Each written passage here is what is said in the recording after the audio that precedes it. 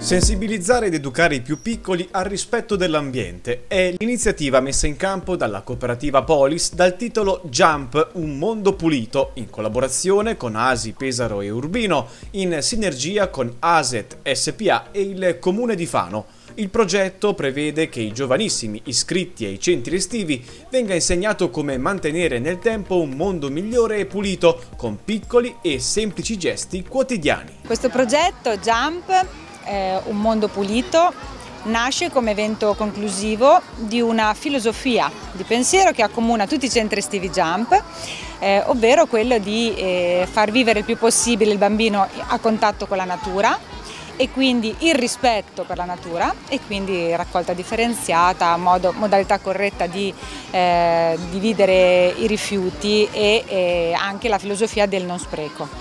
Nella giornata di oggi ogni centro estivo ha individuato una, una location, uno spazio, un'area pubblica, un parco giochi, probabilmente nei pressi proprio del quartiere del centro estivo o uno spazio che viene spesso utilizzato dai bambini stessi del centro estivo e tutti questi bimbi muniti di guanti e sacchetti e sotto forma di gioco hanno ripulito dalle cartacee, dalla plastica e da quant'altro eh, questo spazio.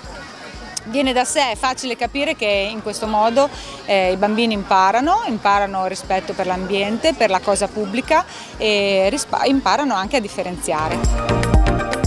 presente anche l'amministrazione fanese attraverso il vice sindaco e assessore all'ambiente Loretta Manocchi che ha sottolineato come le azioni di sensibilizzazione a difesa dell'ambiente siano fondamentali e indispensabili e che ognuno di noi è chiamato a fare la propria parte, soprattutto iniziando dai più piccoli. Anche Aset ha fatto la sua parte, distribuendo sacchi e guanti ai bambini e ragazzi dai 3 ai 14 anni che hanno preso parte all'iniziativa per poi premiarli con un simpatico regalo. Questo genere di collaborazione, questo genere di iniziative sono comunque da parte nostra una grossa risorsa perché eh, possiamo mettere in atto tutte le tecnologie che vogliamo, tutte le modalità che vogliamo dal punto di vista tecnico, però il fattore umano nella qualità della raccolta dei rifiuti, nella modalità di mantenere la città pulita e quant'altro è secondo me determinante, nel senso che eh, ci sta tutto, ci stanno i consigli, ci stanno le tecnologie, però ci deve essere alla base una concezione per la quale tutti